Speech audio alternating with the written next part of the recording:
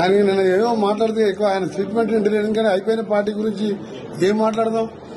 కేసీఆర్ పై కేటీఆర్ పై ఆ దుకాణం బంద్ పై సుఖేంద్ర రెడ్డి ఓదికి పై అమిత్ రెడ్డి ఓదికి పై సైద్ రెడ్డి ఓదికి పై ఎల్లేలేడు పుల్లేలేడు ఆ ఉట్టిభద్రాన్ని పట్టుకొని ఏం మాట్లాడాలి ఆ కేసీఆర్ గురించి? అమిత్ రెడ్డి కాదు కాదు. పిల్లరెడ్డి కాదని ఆయన పిల్లగారి నన్ను కడుతుంది ఎగ్జాంపుల్ చెప్తున్నా. ఈ షెట్ కోట్ పుట్టగాడినాక చచ్చిపోయే పార్టీ మీద సచిన పాములు మలగొడతాం. అది అయ్యిపోయా ముగ్గురు సిట్టింగ్ ఎంపీలు పోయినరు.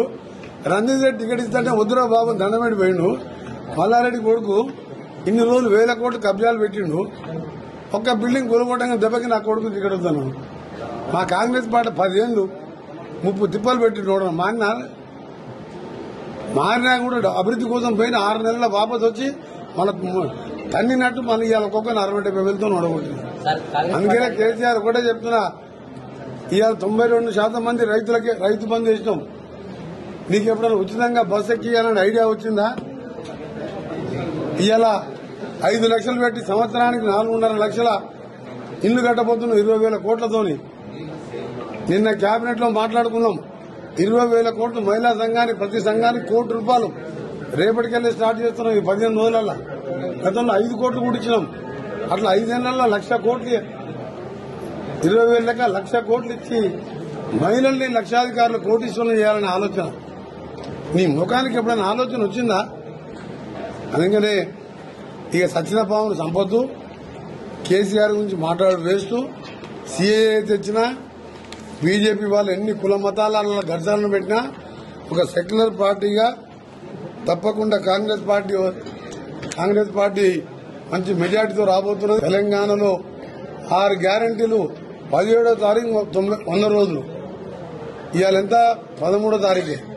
ఆరు గ్యారెంటీలు అయినాయి. దాని కింద కొన్ని సబ్ గ్యారెంటీలు ఉన్నాయి.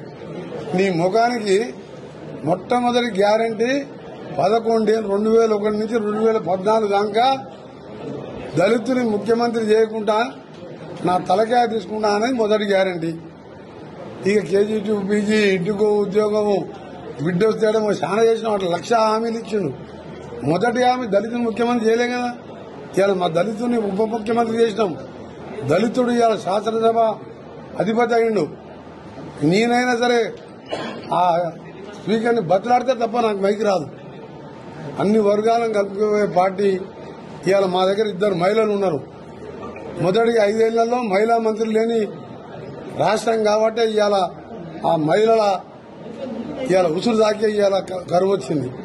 రెండవసారి మొదటిసారి మహిళలు లేరు మాలలు లేరు. మూడు మొన్న మాదిగలు లేని కేబినెట్ యాభై ఐదు లక్షల మంది జనాభా ఉన్న మాదిగలు లేని కేబినెట్ దాంతో ప్రజలందరూ గమనించే మొన్న బుద్ధి చెప్పిండు. ఈసారి మాత్రం ఒక సున్నా సీటు కంటే ఎక్కువ పార్లమెంట్ రాదు. ఆ పార్టీ గురించి మీరు క్వశ్చన్లు అడగొద్దు. నేను చెప్ప అసలు కేసీఆర్ జగదీశ్వరుడనే అనేవాళ్ళు జీరో. ఇక ఏదైనా ఆ టీ న్యూస్లో లడలడ వేసుకోవచ్చు తప్ప ఆ టీ న్యూస్ నమస్తే తెలంగాణ మేము చూసేది లేదు మీరు చదివేది లేదు కాబట్టి మీరేమైనా చెప్పేది ఉంటే మేము మంచి మాటలు చెప్పినాం.